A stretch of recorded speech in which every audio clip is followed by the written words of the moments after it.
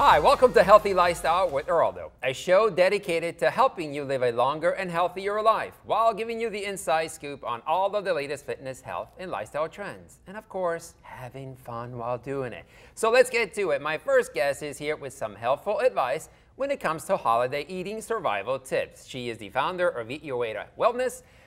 Welcome, Jessica DeLuise. Jessica! Eraldo! Boom! Excellent. So happy to be here. Oh, I'm, I'm telling you, this is really making me hungry, and I just had lunch. Yes, and this is a big thing for people. Right. You know, holiday eating, how we're going to get through the day. Uh-huh. So let's talk. Let's give them some tips. Let's what do you give think? people some okay. really grateful help Yeah. tips. All right, so let's start with. So obviously there is a difference between Definitely these a two plates, right? difference here. Yes. So this is actually probably half the calories of this one here, but this Okay. looks like the typical meal that people are enjoying on the holidays. Very Uh-huh. brown, right? Not a lot of Right. excitement, not a lot of color. And then flip over here. We have it's full of veggies. About half of my plate here is full with veggies. So that's tip number one. Right. Are Mm-hmm. You, you know, when you're getting your choices, when you're making choices with food, Right. try to avoid these things, but don't eliminate them totally. Right. If you like to have those, just make them smaller portions. Absolutely, because Yeah. it, it is the holidays after all, right? Right. So you want to have a time to say, you know, whatever. But always there are some things you want to keep in mind. Definitely. So portion control. We talked about For this sure. before the show. How important is portion control? It's huge. I mean, just right here to right here, I mean, we're talking half, okay? Okay. And the turkey itself, you know, we maintain that over here mm-hmm. with a little gravy, but that. Right. is hundreds of calories, not to mention the stuffing and the mashed potatoes. So instead, flopping those portions, about a cup of each of my salad and green beans. That's Okay. going to be a nice sized portion of vegetables. Hmm, so, Yeah. and what about exercising? Now, we also talked about that, how it's important to have your meal, but also to do something Yeah, that'll get you moving, right? Sure, it's the holidays. So you can take 15, 20 minutes in the morning or right after you eat, play football with your family Oh, and yeah, friends, right? absolutely. Have fun. Get up, volunteer to wash those dishes.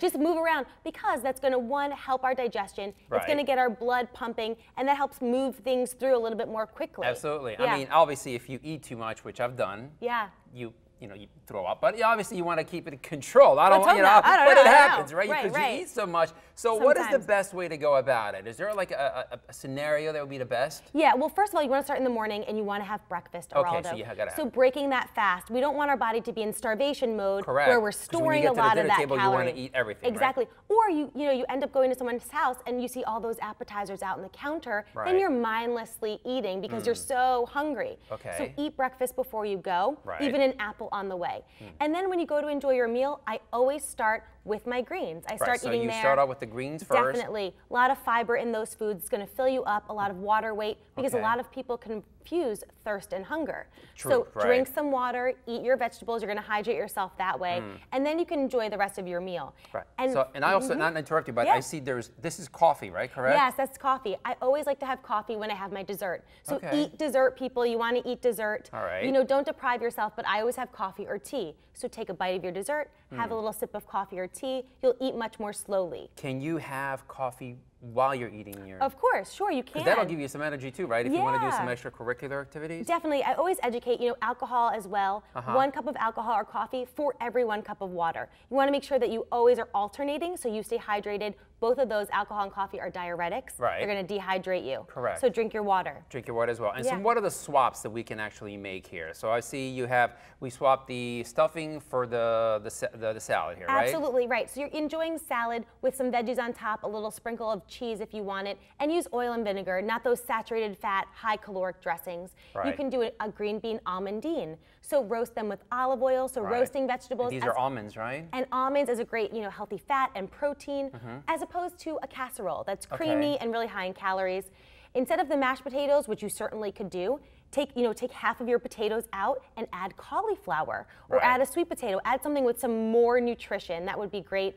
Yep. Now, is there any difference between white meat and dark meat? Is there a difference in Yeah, calorie? there is, you know, it's it, there is a little bit more saturated fat in the dark meat. However, if you're filling your plate with vegetables and meat, Right. we as practitioners, we don't care what kind of meat you're eating. Just True. eat your meat, but it is going to be a little bit more in, higher in the saturated fat. So, as far as his calories, I know we talked about one is actually half the calories that the It's other one. It's about half. Yeah, just taking, just making these portions smaller, adding your vegetables. Vegetables are very low in calorie. They're Uh-huh. mostly water weight. So you're going to eliminate eliminate a lot of your calories just by making those easy swaps. Okay. It's very, very easy. What about mm-hmm. when it comes down to eating your desserts now? Yeah, so eat your dessert. And like I said before, the coffee and the tea is a great, you know, Right. model But that are I there use. different desserts you should be eating as So- opposed to other ones? Oh, or? that's a great question. So fruit-based desserts will be the best. So or even fresh Sorbets fruit. or something? Sorbets, even the apple pies will Right. Probably be a little bit less calories than uh-huh. opposed to the creamy, dense, you know, sugary desserts. Right. And eat one thing. And then you know, there's always extra dessert. Wrap something and have it in a few days. You don't have to eat 12 different desserts True. all during that one sitting. Okay, so and the last,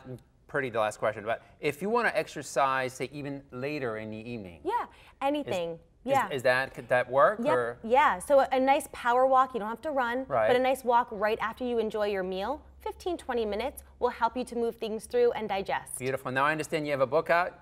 Yes, great Let's give stuff. let's give a shout out to your That's book. right. So I do have a book. It's a clean eating guide, mm-hmm. and it goes through the ways that I maintain my health and how when I started my journey, how I did that. Wow. So there's shopping lists, recipes, some daily habits that I use, and it's called the No Doc Method because you know healthy eating is the foundation for health. That's right. So. No Doc Method, you won't have to go to the doctor as much if you're focusing on these essentials. Excellent. Yeah. Thank you so much for Thanks, being here and sharing with us. Okay, guys, still to come. Have you started your holiday shopping yet? Well, if not, after the break, we have the latest jewelry trends that could make the perfect gift for that special someone. Stay tuned.